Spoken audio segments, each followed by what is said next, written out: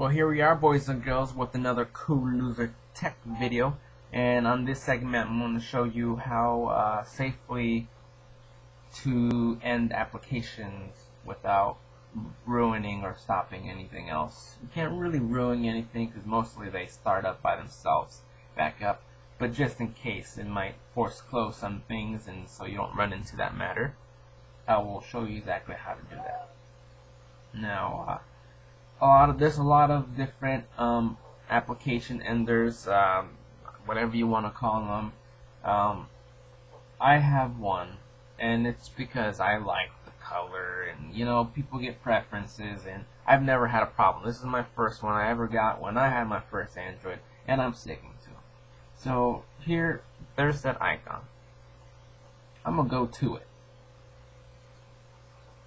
without click on that because that is just a widget. Now here on the market it's the free advanced task manager.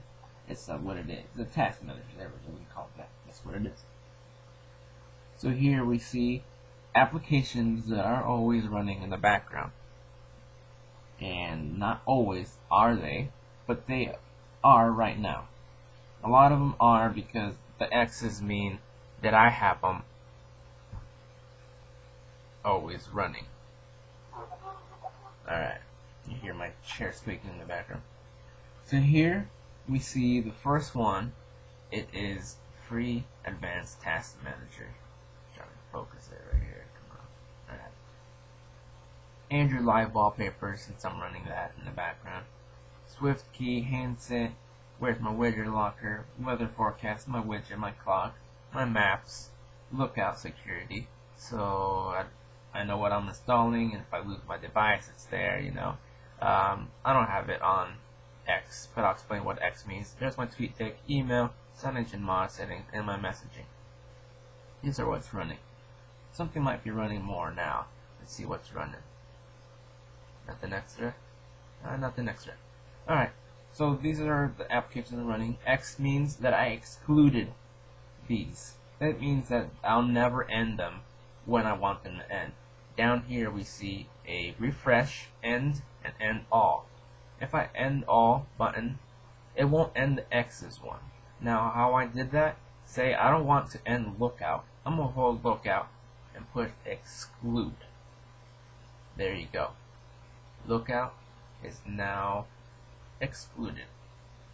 But me, it doesn't exclude, it always pops up. That's their security that they did. They did an awesome job making sure that you wouldn't exclude that. Not keep pressing exclude. Just remove it, remove exclusion. And it should be, there you go. So here we go. Now I'm going to select this right here, and it selects the ones that aren't X'd. That means those are the ones that I can end. Now if I want to end it, I will end it. I took off that one because I don't want to end this whole application I'm running right now. So now I'll push end it just ended some of them. This one is my messaging. That will always be on because that's my text message. You can't really end a, an app that has to be there, you know. So there, I ended a lot of them. If I want to end them all without checking them, then obviously just press end all. It ended my application right there and that. And that's that. Now, you know, open it up, go to your and then right here again, we have applications that are there. But these are the ones I want. If I don't want it there, you know, remove exclusion. But I definitely want to keep it so it never ends the program. End all. Now let's see, open this, go back, open that, go back, open this. It's probably going to take a little while. And, and let me show you real quick since I already did that. I'm going to hold my home key and it'll just show right now what I just opened. See, in sequence, it shows you exactly what I opened, how I did it, and instead of going back, you can do that anytime. Perfect. You see that up there? I got a text message, didn't interrupt me, it's up here, I want to check it, bring that down. Not right now, because I'm obviously right here doing it right now. But this is what's lovely is that I don't I can be anywhere and just press home button and this will pop up. Now, say I was already in application, just bring this down, check my message. Now I see my friend right here. He says, "Want to live it up." So you can see right here. If I don't want to go to it, don't have to. I can. I can't push that. go to it. I know you Android users know how to do it, so I'm just gonna end it. Go back to here. So that's how you do what I just showed you. Just lost my train of thought Where with my, my friend texting me.